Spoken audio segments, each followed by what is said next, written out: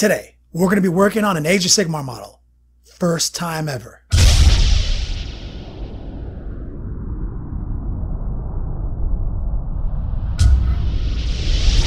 Yo dog, Kenny Boucher here, next level painting, hitting you up on the literal best day of the week on this glorious Friday in Southern California.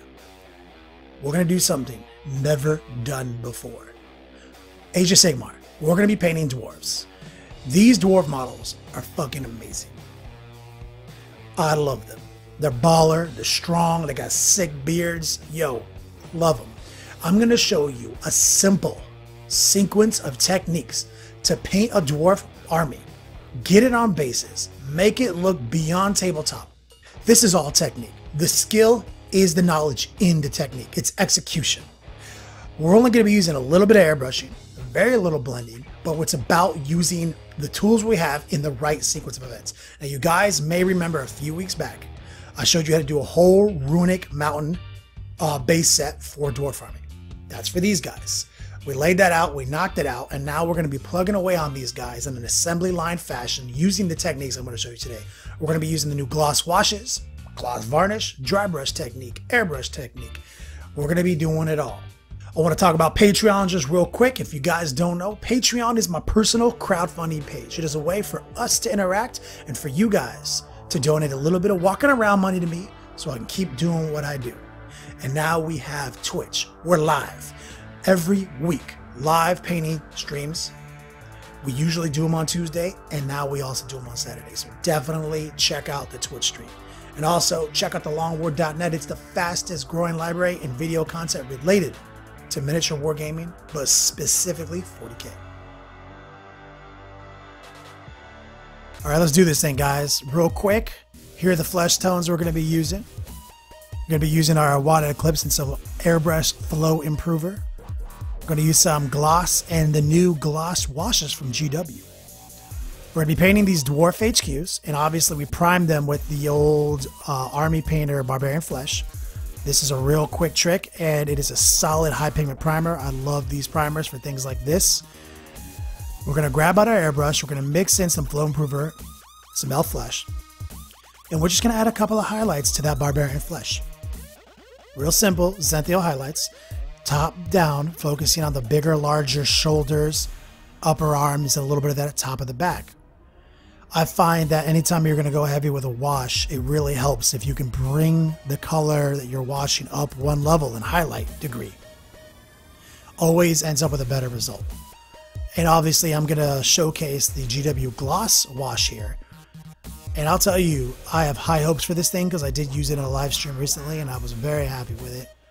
So I'm really anxious to see how well it does here when I combo it with this type of airbrushing combined with some actual gloss varnish to double down on the surface tension, you know, trick of glossing a model before you wash it.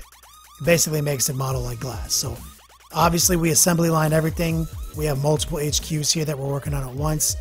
At after this point on, and after I wash these models, I'm gonna be focusing on just one guy. Use it. So let's pull out the Vallejo Gloss Acrylic. Use it. It through our airbrush real quick. Get these things super shiny. Pull out the new GW uh, Flesh Shade. And let's just go to town with the wash. Now, normally I would gloss these models, hit them with the wash, and be pretty happy with it, but it take a lot of um, detail work afterwards to make me happy with it. The combo of these two is amazing. That wash is just draining away from those big flat surfaces all by itself. Barely have to manipulate it with the paintbrush. You're getting a very good effect here. The wash is clinging to the recesses and it is just literally retreating from the flat open muscles, the big round muscles. And these dwarves are squat. They have more bulky muscles, but less cut in, carved in detail to their muscles. So I'm very happy with how good this wash is interacting with this gloss varnish. I strongly recommend picking up some of these gloss varnishes and these gloss washes. The only, um, I would say, caveat here is you better have a good matte varnish handy because you're definitely to need to matte these down after this stage just to go back in and paintbrush it because it's going to be a gloss varnish that you put a gloss wash over. That's literally impossible to paint. So I recommend getting yourself some Testors, Model Masters Lusterless. That's the one I use. It's really easy. You get a real good effect. It hardly, it never fucks the model up. It's an alcohol base, so it dries very well no matter what the humidity is. So here's the guy we're going to be primarily focusing on for the rest of the game, for the rest of the tutorial. He's been matted back down. His skin looks really good just now, but we're going to take it one level above. We're going to take out the airbrush. We're going to grab that highlight elf flesh, and we're going to just real subtle and real delicately reapply some of those highlights we just did, focusing on the large shoulder, the biceps, the triceps, the upper back, all the same areas, but with a much thinner application, very delicate. Like I said, we're coming in here for the control. Initially, when we highlighted it, we were just focusing on like kind of an overall zenithal. Now we're kind of switching into a per area radial highlight.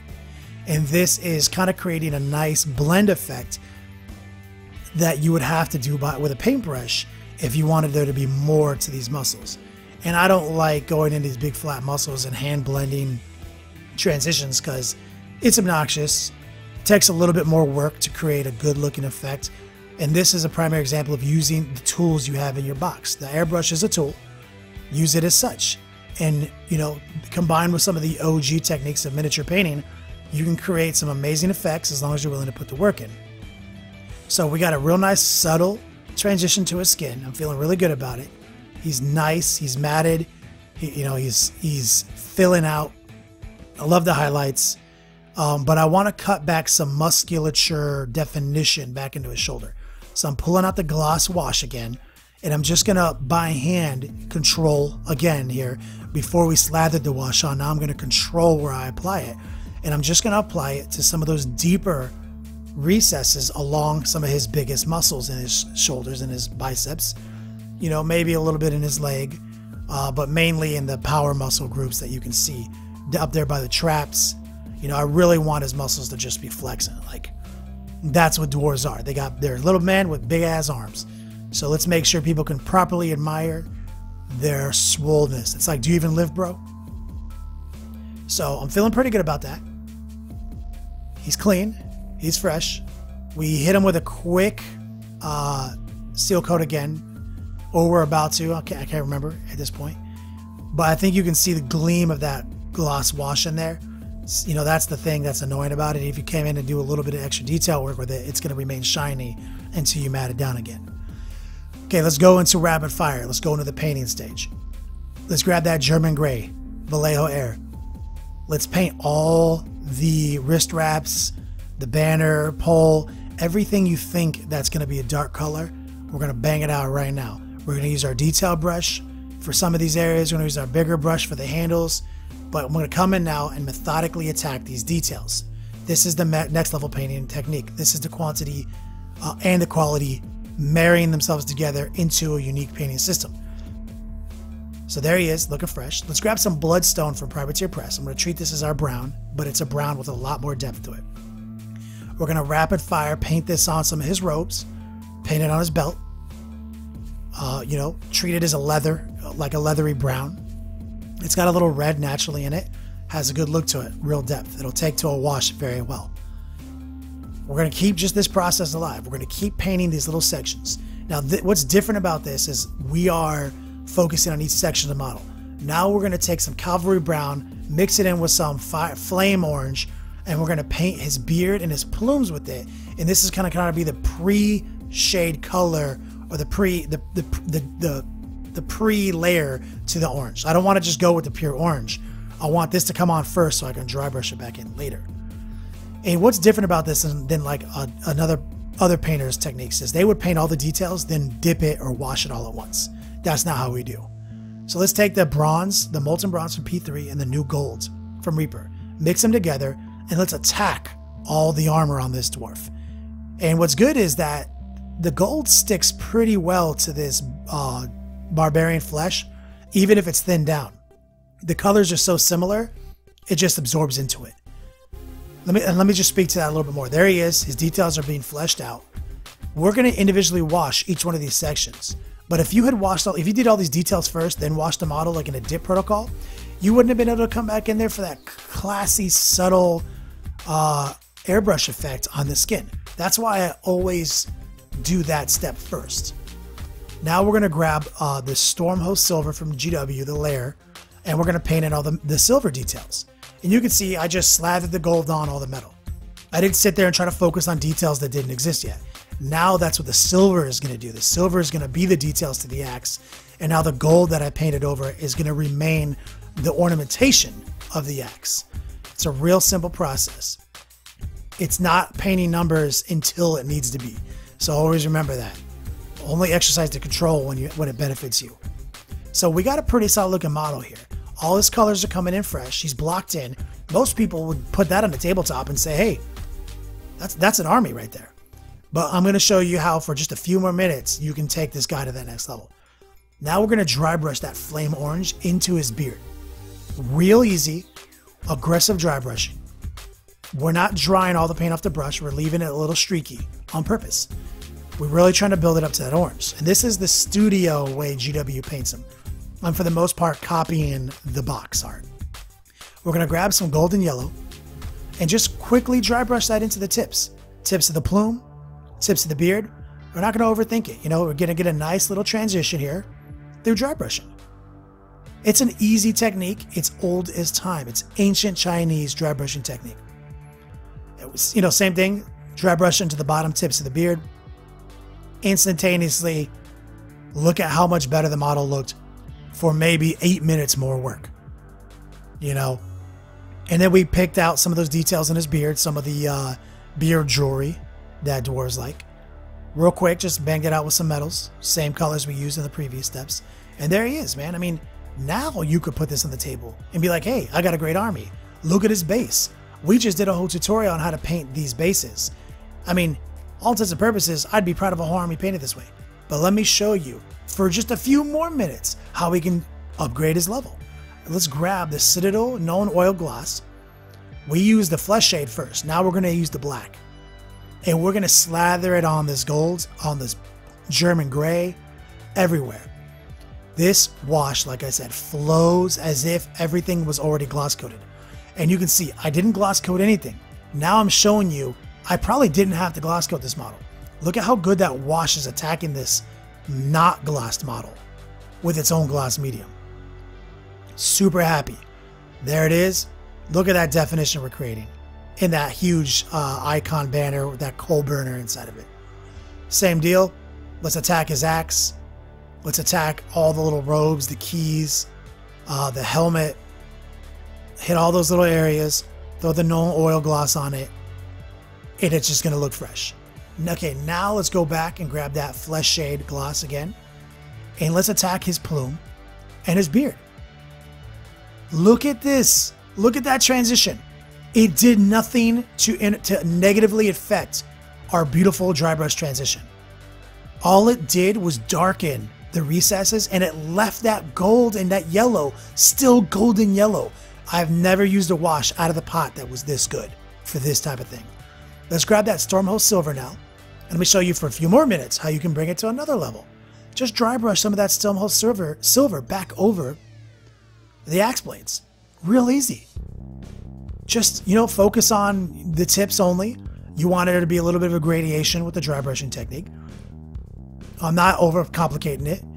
I'm just grabbing a little Stormhost, wiping it off on my t-shirt, and then dragging my brush across these edges. And boom, look at that axe. Okay, if it works like that on the axe, why won't it work like that on the gold? A little bit of that bronze mixed back in with that new gold. Boom, dry brush it. Look at that. Look at all that. It's a super antique gold effect. And you'll notice, we're not even grabbing highlight colors. We're just grabbing the colors we did before we washed the model. Because this wash is so subtle that those colors are still the highlight color. Now let's grab that German gray and whatever white and blue you have handy, and let's start dry brushing some blues and some whites into that German gray while mixing them in the German gray. For some reason on the cover art, they have this kind of shadowed effect on this icon. And so I'm just doing my best to recreate it. So I'm just dry brushing it in, adding a little white, dry brushing it in, and adding a little white. and just kind of keep continuing. You know, you want to build those dry brush layers up. You don't want to just attack it if you have multiple coats that you need to do. And there it is. You can see that shadowed blue coming out, the white tips. You're getting a little bit of definition, and we're focusing on the top, so it's looking like a natural gradient. That easy. Okay, now let's go get let's get technical again. Yo, you think this model's done? Let me just give me five more minutes, and I'll show you how, how much more fresh it can be. Little flow improver, little scarlet red. Grab the airbrush, and just hit that icon there, that that letter G in the middle of all that, because I think it's like a coal brazier and I think it's supposed to be glowing as little OSL in there. So the way we're going to achieve this effect is we're going to spray our red in on the icon and let it catch the area directly around it. Then we're going to grab the flame orange and we're going to focus on just the icon. Just the icon. So that way it's going to have the effect that it's glowing. That simple. And once we get that orange on there, we're going to do the rest with a paintbrush. This is possibly the only real edge highlighting we're going to do on the model.